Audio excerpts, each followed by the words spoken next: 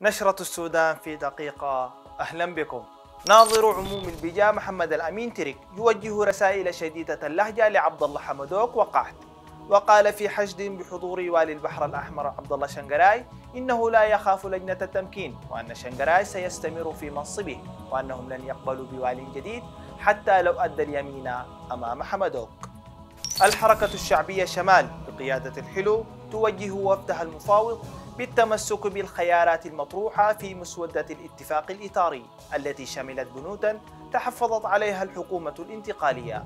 يأتي بيان الحركة عقب لقاء جمع الحلو مع مبعوثي دول الترويكا والممثل الخاص لأمين عام الأمم المتحدة.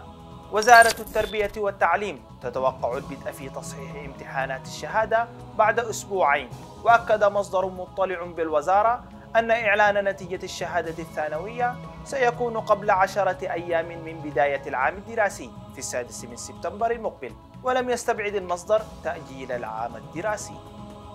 وزير الثروة الحيوانية حافظ إبراهيم يكشف عن إعادة عدد 42 باخرة من صادر الماشية خلال الفترة السابقة قبل توليه الوزارة دون أن تشكل حتى لجنة تحقيق واحدة حول هذا الأمر مقرا بوجود اختلالات كبيرة تواجه قطاع الثروة الحيوانية. نهاية نشرة السودان في دقيقة. إلى اللقاء.